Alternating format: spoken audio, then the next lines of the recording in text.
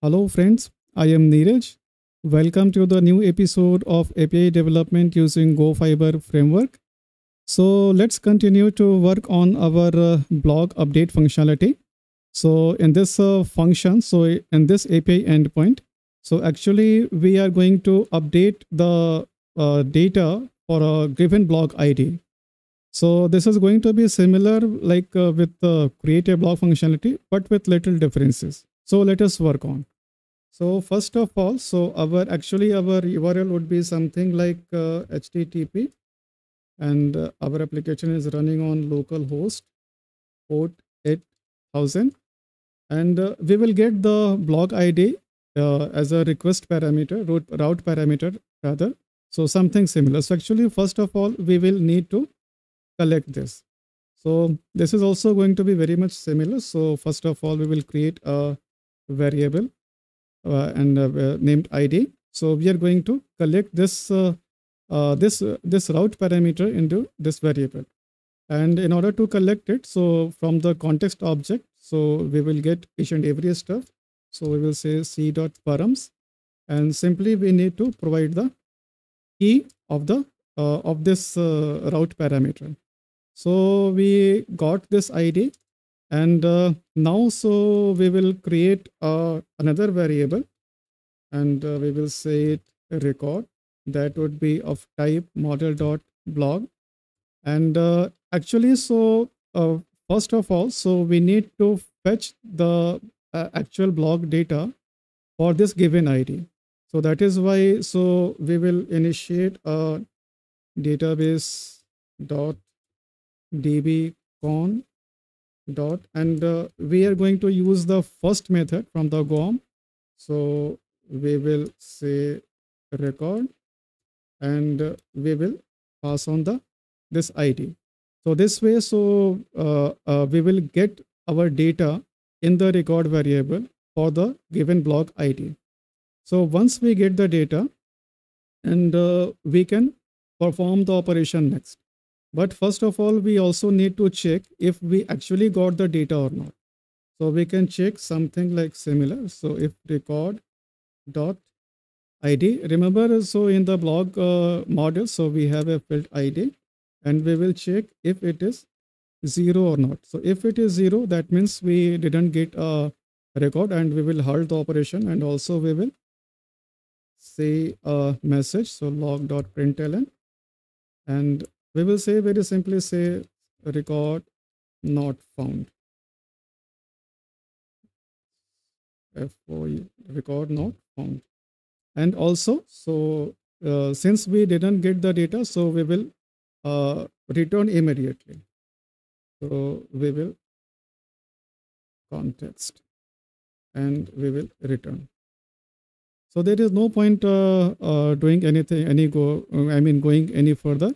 So if we got the data and uh, now we simply need to like in the create a blog, so we need to parse the request body into the our struct itself. So we will say if error and c dot body parser and we will parse into the variable record and we will check if error not equal to nil then we will see log dot println and uh, error in parsing request. Okay so and uh, if the request is if the request got passed successfully so now we need to save the data. So in order to save the data so this is very very i mean very simple. So dbcon and uh, this has a method called save. So we will use save method and all we have to pass the variable record. And again it results it returns a an, an interface. So we will collect it here and uh, we will check if result dot error is not nil so then we will again log an error message here and uh, error in saving error in saving data. And if the data is saved successfully so very simply we will return the full data. So we will say context and data and it would be our record. And also we will provide some message as well. So context and message would be say record updated successfully. Okay and uh, this is going to return 200 and also if any error comes in so we will return instead of 200 we will return 400 a bad request. So that uh, a front end guy can do his or her his work appropriately. And uh, also we can uh, yes fine. So looks everything looks okay. Now it's time to test it. So we will land in the thunder client and uh, right now so we are having three records. So i am going to update this record id having three. So very simply, first of all, we need to change the request me the method from to put, and uh, we will supply number three here, and we will say new title updated. And uh, updated so that uh, we will have it something meaningful. So let us test it. 404 not found. Why so? So it says uh, 404 not found. Okay, so let me check. Let us go to routes. Oh yes, actually in the so so since uh, in the put method, so we we didn't provide any meaningful route because we are trying to provide some some ID here, but uh, we need to tell uh, we, we but we need to specify. So this is a syntax, by the way, this is a syntax to pass a route parameter. So just colon and the name of the parameter. So that way, so this ID parameter would be available in the context. And uh, this way, so if we reinitiate our request, so yes, we are getting that our uh, ID is 3 and title it was updated and post also updated. And we got a message that record updated successfully. So we can cross check here as well. So we will initiate a get request and uh, we will say, okay, so this method is not allowed because uh, we are initiating a get request and our get request was configured not to accept any route parameter. So yes, so yes, so we have updated.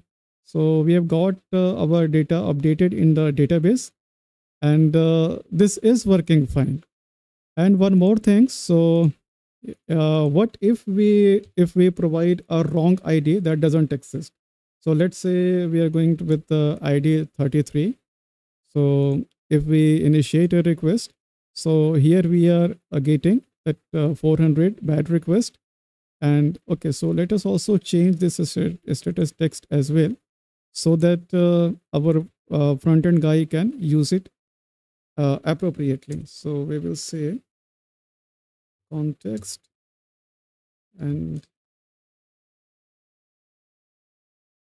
we will say MSG as record not found. So actually our API, API, I mean being an API developer, so we should return something meaningful so that uh, our front end guy, front end people can do uh, uh, their stuff, I mean, easily without any problem. And this is also a best practice as well. So context. Actually, I prefer to be more, much more explicit. Status text is equal to blank, empty one. You can provide any, I mean, okay, false or error, wrong, whatever way. So this is just uh, stuff. So we'll send it again So we got it, the message that record not found. And uh, we got the status text as empty one. So based on this, I mean, the front end guy can check. So if status text is okay, then uh, the request went successful and he can assume that data is going to come. And uh, if it doesn't, so then that means that something went wrong. So he can do his stuff appropriately. So for a 200 ones, so this is working fine. So I hope you enjoyed this session and it was also similar to, I mean, much more similar to create uh, a new entry in database, but with little differences. But uh, this is a this is a beauty of uh, I mean Go. So this is much more simpler, super super easy. So just writing a few lines of code and we can uh, create a full-fledged CRUD, uh, CRUD operation.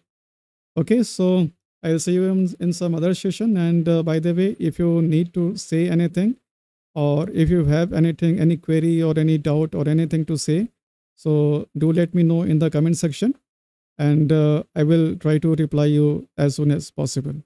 So till then, take care and happy coding.